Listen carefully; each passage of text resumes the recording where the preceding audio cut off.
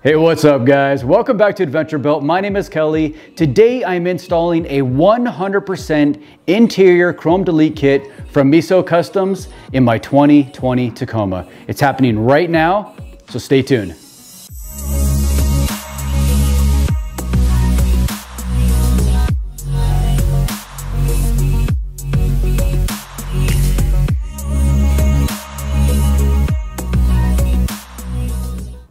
Hey, what's up guys? Welcome back to the channel. Like most of you, I was never really a fan of all the chrome in my 2020 Tacoma. There just seems to be a lot of it.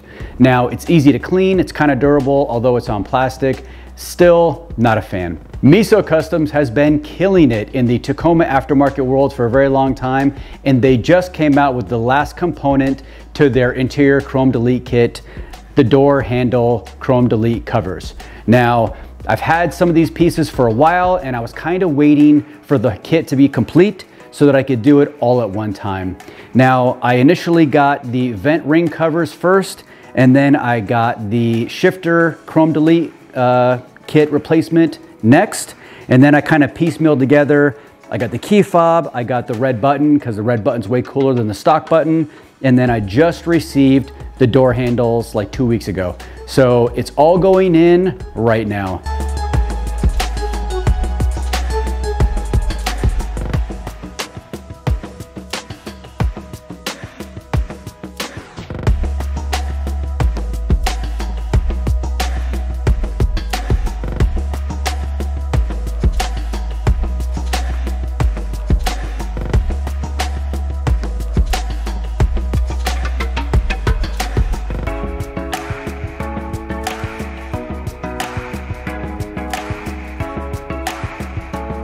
I've got the 3T PAM off and the bezel off.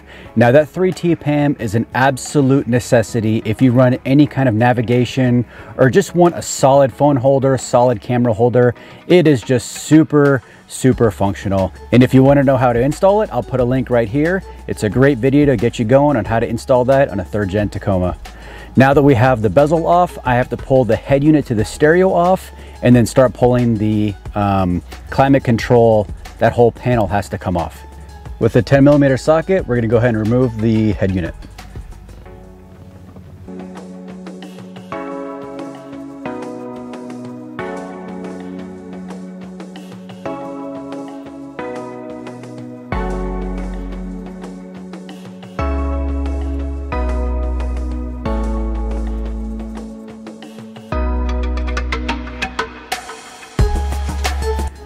Now with the head unit loosened so that this bottom tab can come out, we're going to grab the top of the clock here and we're just going to gently pry outward.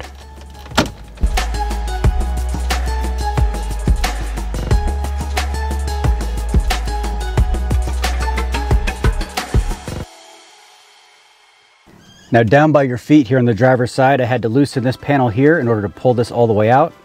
But once you get that loosened up, this comes out and then disconnect all of the wires back here. There's three harnesses that clip into it. It's just a push on the top of the tab and they pull right out.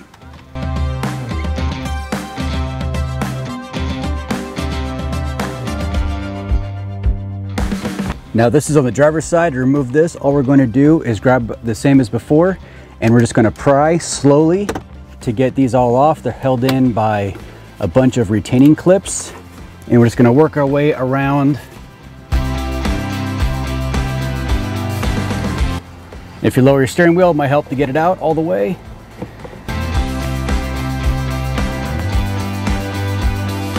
All right, it's out and it's just held in by the same clips as before. All right, now for this passenger side trim piece, we're gonna use a non-marring trim removal tool and we're just gonna insert it into this edge here and we're just gonna start working it around to remove this piece.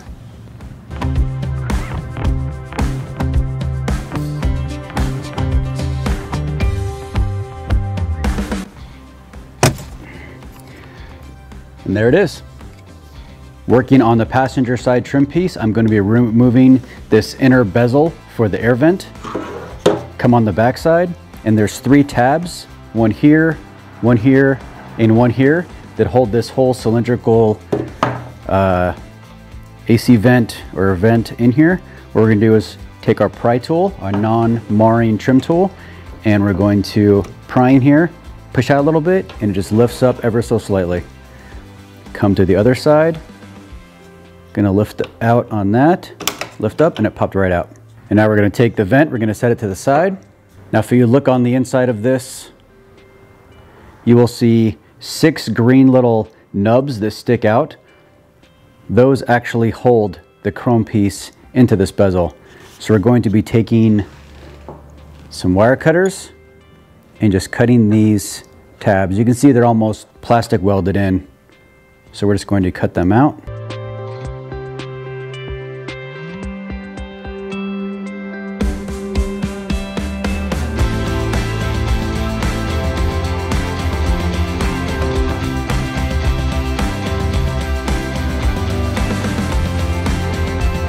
I switched over to these smaller wire cutters. I was having a hard time getting those bigger wire cutters in there and get the cut nice and flush.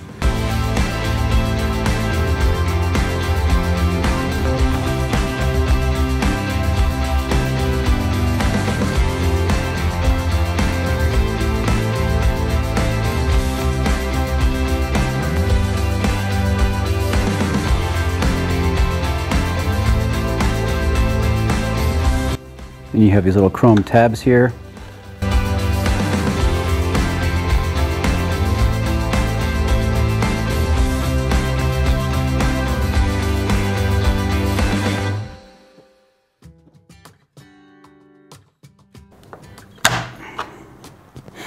All right, so now starting to come out. I'm using a punch and I'm basically, after I cut the tops of these green heads off, I am pushing through with this punch to get them to come out.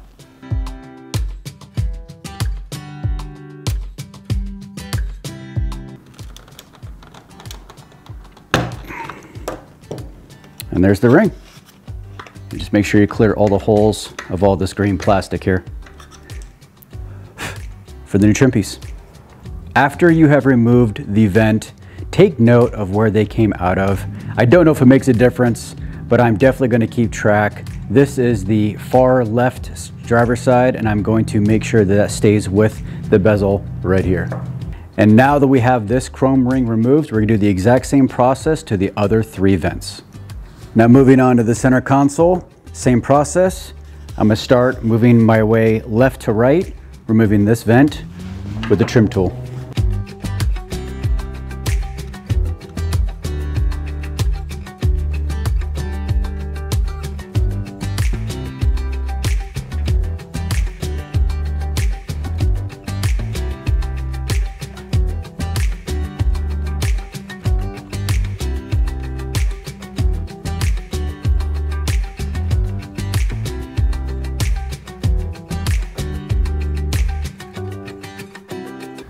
There's not enough clearance for these dikes to get in there, so I'm gonna use a razor blade and just cut them off.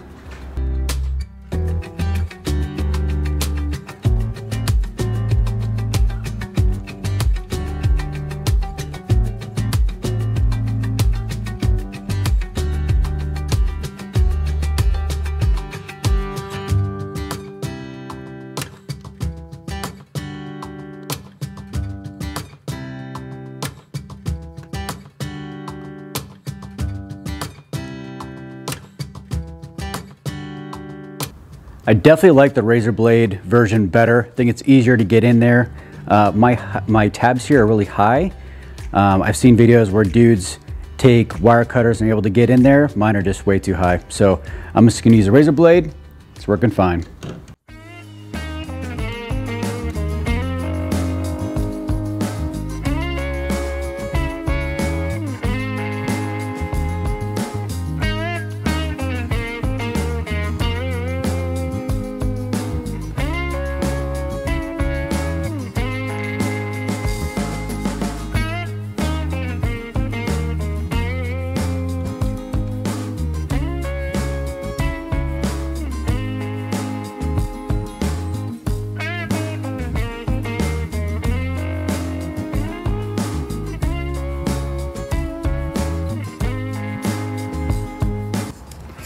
And the very last one is the passenger side, all by its lonesome self, passenger side ring.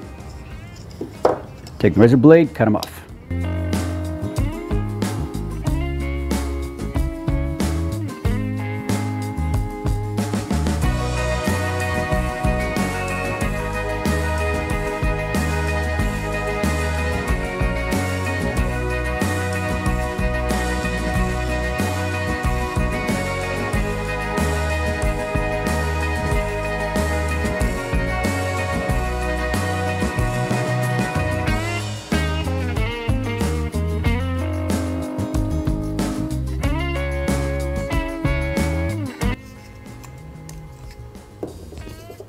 Last one. Now I'm going to open up my new vent ring replacement kit from Meso Customs.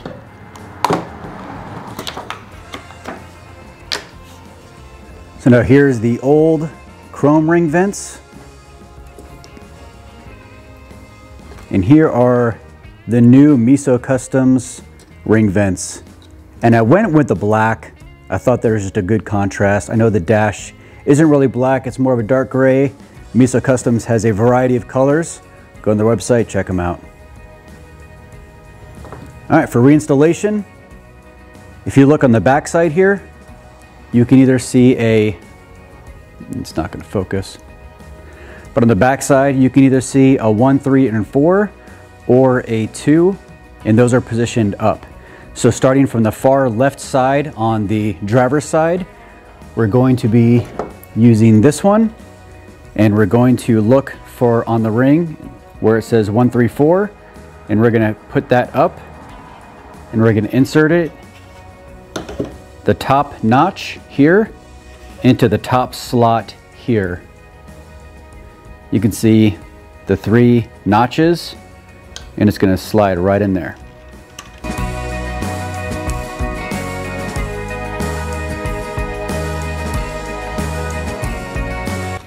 And then you look on the back side, you're gonna make sure that the three tabs are protruding through so that it is secure. Tab one, tab two, tab three. And now I'm gonna put the vent back in. All we're going to do, grab the same vent that you removed from it, flip it upside down, align the tabs, and reinsert. And all you're gonna do is firm pressure down all the way around. Check your work, make sure everything is lined up nice and tight. Make sure the vent spins and closes. And that is the finished product. That looks really nice, much nicer than the chrome. And now we're gonna repeat this three more times. So here in the center console bezel, so this is number two. If you look on the top back of the bezel, you'll see a two on here. That is gonna go up and you're going to index it into the holes here and depress.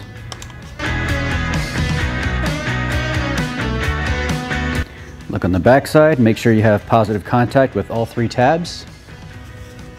Make sure everything's nice and firm. You'll feel them kind of click into place. It's very positive. Grab the air vent, align the tabs, depress it, Spin it, make sure it's nice and solid. Oh, that looks so good. Moving on. Now this ring is gonna be number three. I'll look on the back. One, three, four. So really only the second one, the, from left to right, the second one, left of the big hole where your media center goes, that's the only one that's gonna be different than the other three. So you're gonna insert this one, depress, and you'll feel your finger around here, it's nice and flush. So grab the air vent, align the tabs, depress. Again, check for functionality. Looks good, works good. All right, number four, last one. If you look at the back of the tab, there's arrows that point up here and here. Just gonna line the top arrows with the number four top arrows. line it up and insert.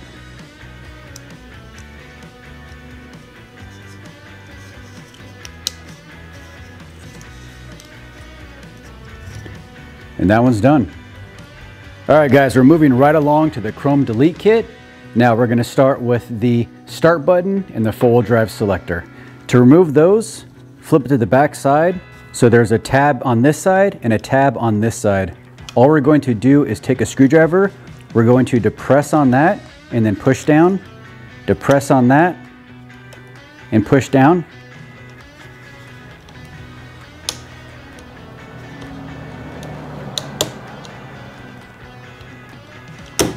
And that's gonna release it and it's gonna pop right out.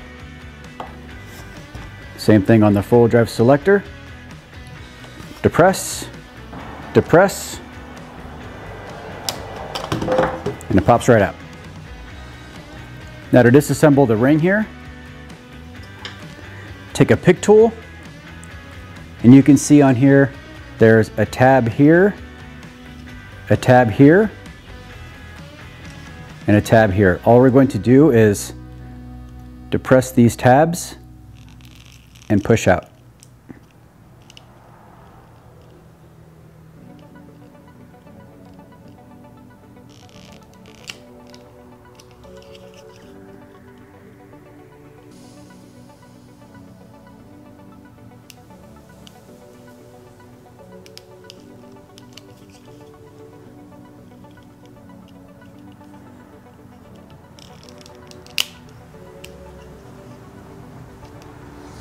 Comes right apart. And now for the four-wheel drive selector button, what we have to do is disassemble it. A really small Phillips head screwdriver, and we're gonna remove this screw and this screw.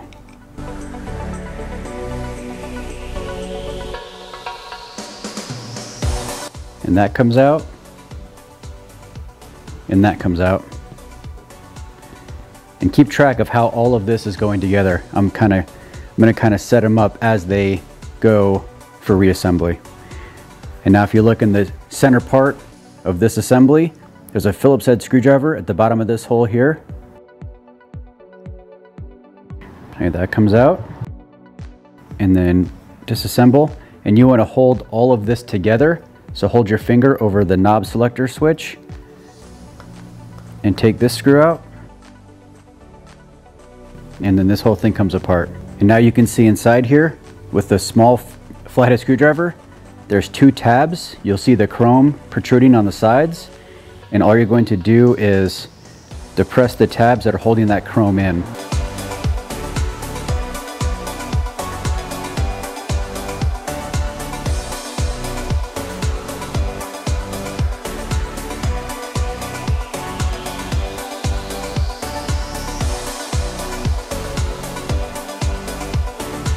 All right, so I basically I ended up having to kind of pull that tab out and then get my fingernail behind the chrome ring to help it come out.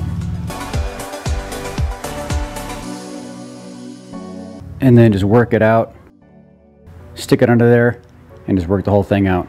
All right, now before I start reassembling all the Chrome Delete, I'm going to put my new start button into the start button while I have it out. Now what you want to do is on the back side of it, there is a tool to help you remove the start button. This tool is just basically a piece of wire with a hook on it.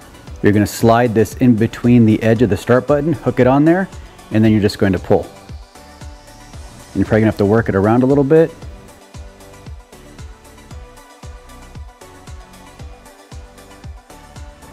This thing is held on with four tabs, so it's definitely not gonna come out easily. There's one.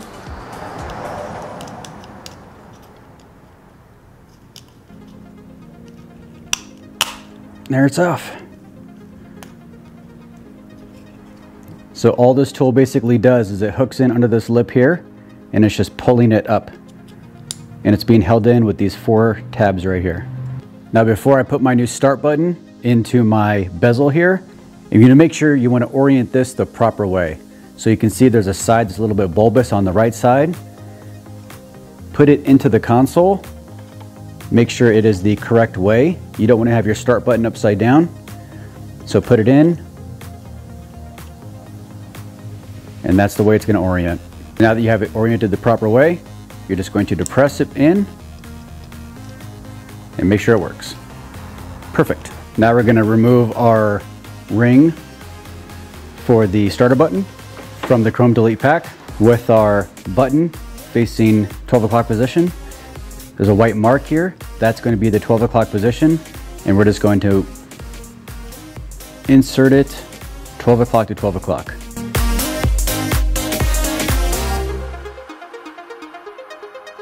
And just take your time with this, making sure you get everything lined up. Don't force anything. And there you have it. Gonna put it back in the console and just nice even pressure. Snaps right back in. All right, now for the four wheel drive button, what we're gonna do is take the new Meso Customs blackout ring and we're gonna insert it where the chrome ring came out of and we're gonna spin it until it kind of finds its home and then depress it until it clicks into place. Now we're gonna drop our selector button right back in into the two wheel drive position. Keep our finger there to hold that in, drop the back onto it, and spin it until it locks into place. And now we're gonna take our screw and we're gonna reinsert the screw back into the center hole. And definitely don't over tighten that. Now we're gonna install this section here. And this part is keyed to a slot. So try to drop it in where it's gonna line up the first, and there it is. And you see the little tab here, right here on the bottom, that's where it has to line up. So once you get those parts lined up, we're going to drop in this board here and it only goes into one place.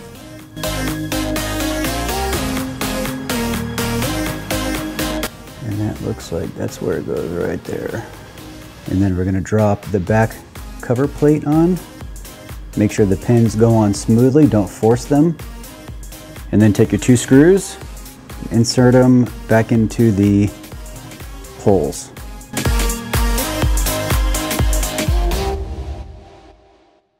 Make sure the screws are nice and tight, but definitely don't over torque them. And now we've got the full drive selector completely installed with the new chrome delete rim. We're gonna reinstall it into the bezel. Now doesn't that look so much nicer? All right, now that we have all the chrome air gone and we have the um, four-wheel drive selector and start button and the button itself completely changed out, we're going to reinstall this into the truck and then we're gonna work on the center console. All right, so we're starting with the passenger side. We're starting on the far right side. And if you look at the bezel here, you can see right here, there's a little yellow mark and there's also an arrow pointing up. That is going to index this whole thing to point up like this. So if you just line the, the notches up,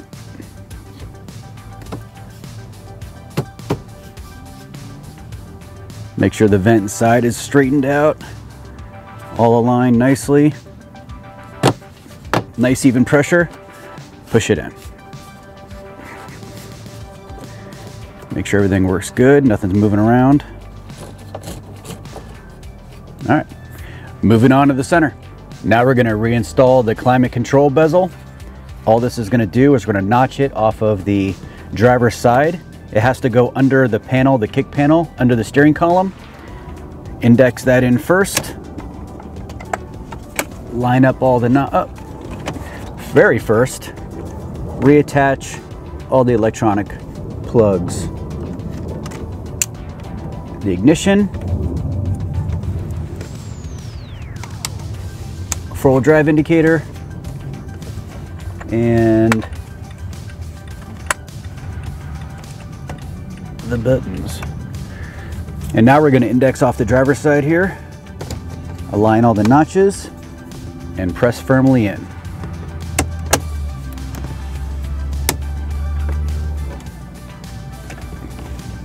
And now you can, I'm going to push back in under the steering column Oh man, this just looks so good. All right, now I'm gonna put the stereo back together.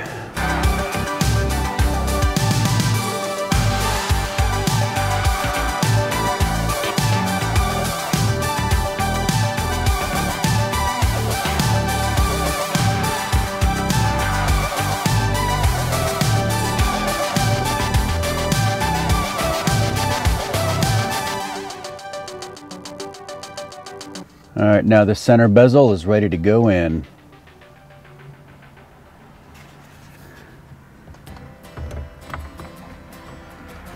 I have to make sure the wires for the 3T PAM are in the notch and press. And now all I have to do is reinstall the 3T PAM.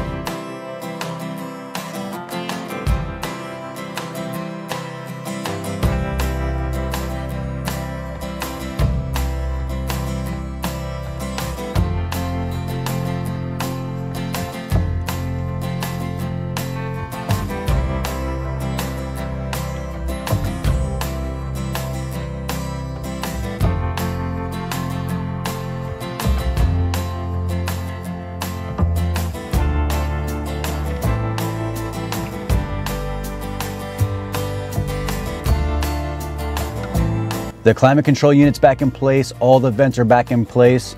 The 3T PAM, every time I disassemble and reassemble this 3T PAM, I just completely forget how awesome this thing is. The construction on it is so well made, it just goes right together. It's just really, really nice. I don't know what I would do without it. All right, so now that we have all of these pieces in, we're going to remove the center console and work on this. All right, now to remove the center console, all we're gonna do is remove, we're gonna pull down on the boot here for the shift handle and then we're gonna twist this shift lever off. Lift up the glove box. The e-brake's gotta go up and just start prying the whole thing up.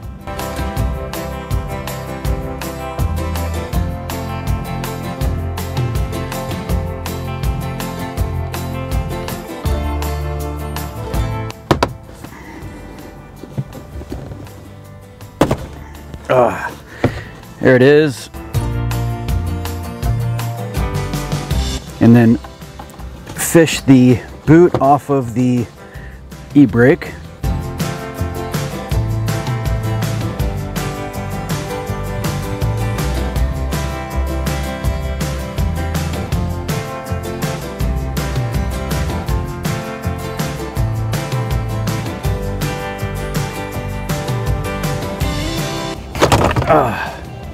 Good thing that came out.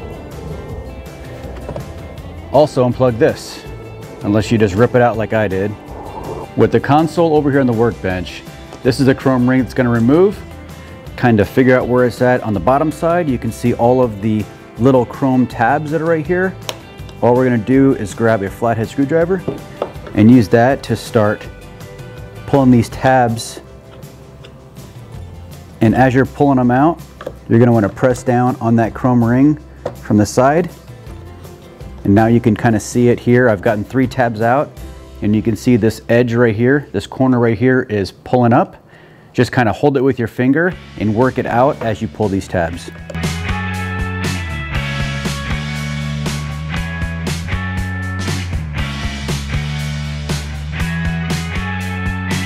And the ring comes right out. Now pull out the new Meso Customs ring Insert it over the tabs, press down firmly. Should hear that nice positive click saying that it's in. Now I'm gonna reinstall the center console and I'm gonna bring that last ring with me. To reinstall the center console, index it where it belongs. Glove box has to go up, or the center console box has to go up, and then feed it down over the parking brake. Gonna have to fight this thing all over again. Wasn't too bad. And now make sure to make our connection. Line up all of our tabs. And click it into place.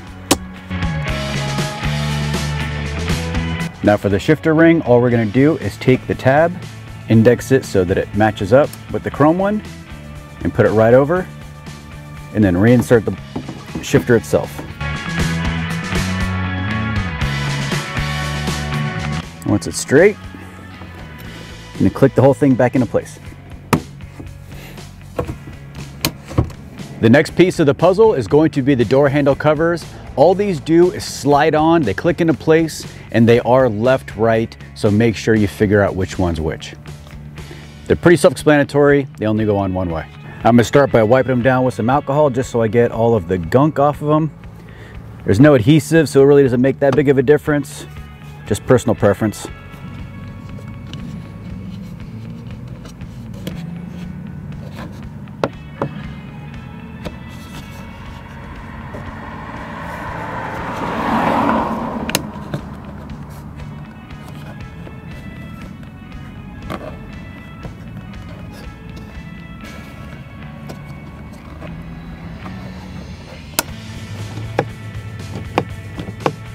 And that's all there is to it.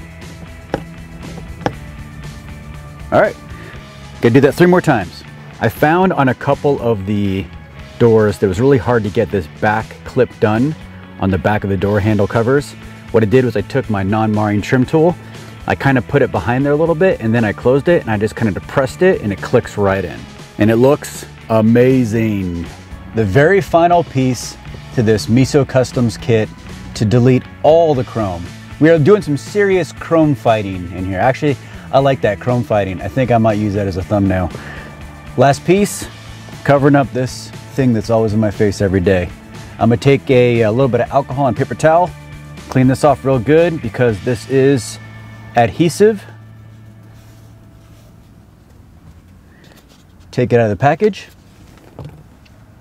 And we're gonna peel off adhesive backing. and put it on.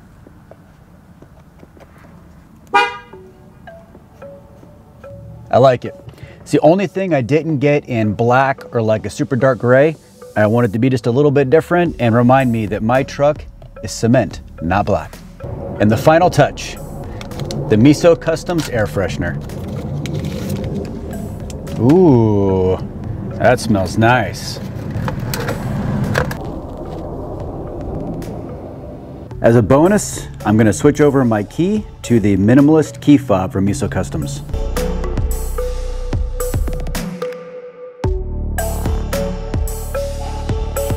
I mean, it's like a cool old school Altoids can.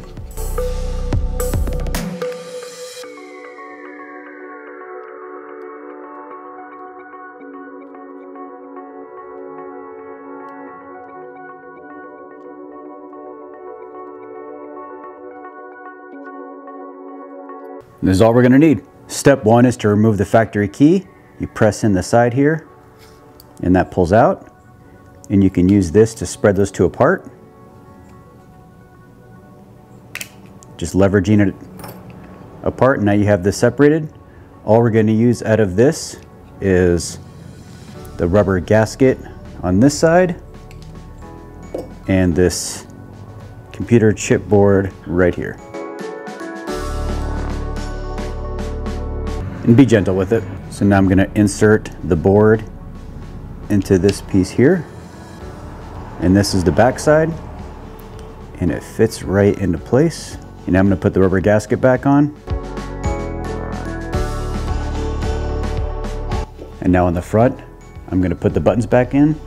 I'm going to insert the buttons and they do key into place.